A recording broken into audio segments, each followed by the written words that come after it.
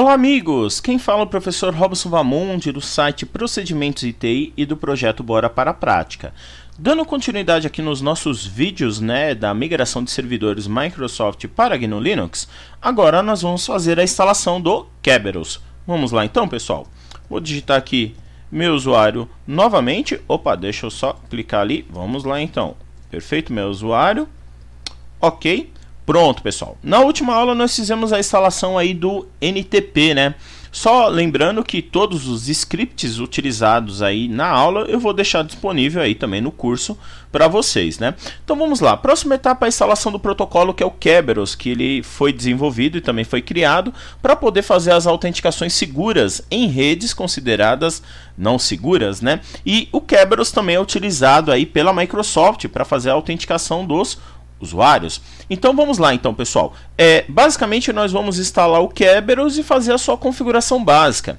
Nós vamos ver que na instalação do Samba, ele gera já o seu próprio Kerberos, depois nós vamos substituir apenas um arquivo de configuração. Então vamos lá então pessoal, basicamente eu vou digitar o comando sudo apt-get install e nós vamos estar instalando o KRB 5, né, que é o Kerberos na versão 5. Existem várias opções, nós vamos estar utilizando o Kerberos, que é a opção de usuários, né, traço user. E eu posso também estar utilizando o KRB, né, 5 também com a opção config, para eu poder configurar ele as configurações básicas aqui do meu servidor. Então vamos lá então, pessoal. Vou pressionar enter aqui, ele vai pedir novamente a minha Senha, ele vai dizer que ele vai instalar aí algumas bibliotecas a mais também para estar tá contemplando aí a necessidade.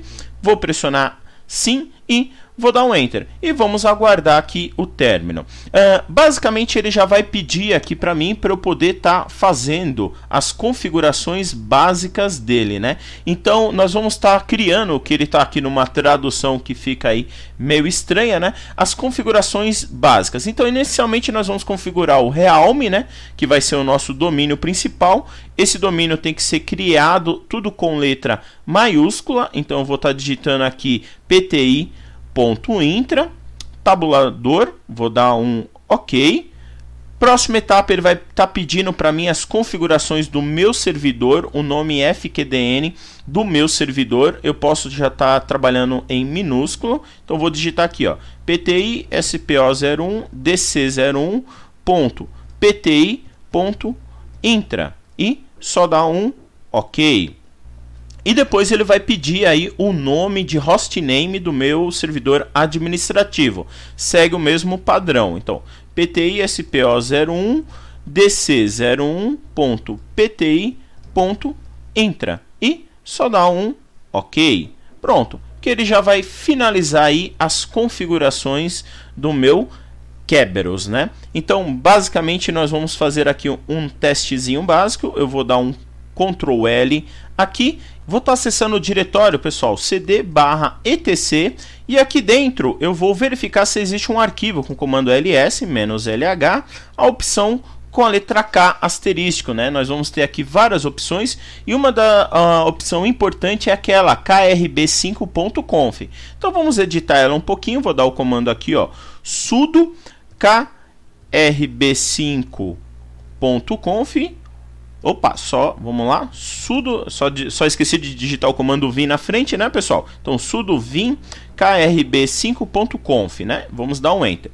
Uh, o mais importante nesse arquivo, pessoal, nós vamos ver que na hora da criação é, e da instalação do Samba 4, ele vai criar um arquivo desse que nós vamos substituir. Então, é importante essa linha aqui, ó, que é a linha default é, Realme, que já está ali, é pti.intra, as configurações básicas dele. Descendo um pouquinho mais aqui, pessoal, nós conseguimos ver aqui as configurações Realmes do nosso servidor. Então lá está como pti.intra, nosso KDC é o pti spo01dc01.pti.intra, né, que vai gerar nossas chaves. O nosso servidor também de administrador que segue o mesmo nome. Então ele já está todo configurado, uh, basicamente já está funcionando. Nós vamos fazer testes com o próprio Kerberos pós a instalação aí do Samba, né? Então vou dar um ESC aqui, Shift Q exclamação para sair sem salvar esse arquivo e um Ctrl L para finalizar.